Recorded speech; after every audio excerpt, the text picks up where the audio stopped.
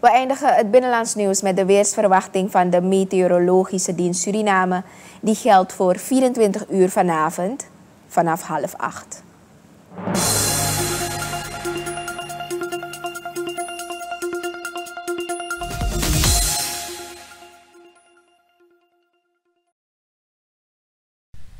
Gedurende de avond en nacht is het tijdelijk bewolkt met overwegend in het binnenland enkele buien.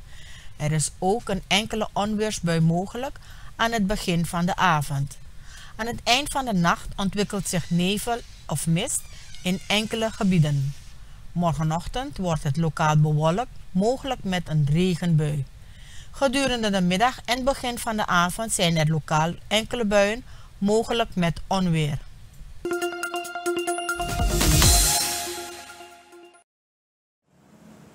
De meteorologische dienst waarschuwt dat, er morgen, uh, lokaal winderig, dat het morgen lokaal winderig zal zijn met mogelijk een windstoot.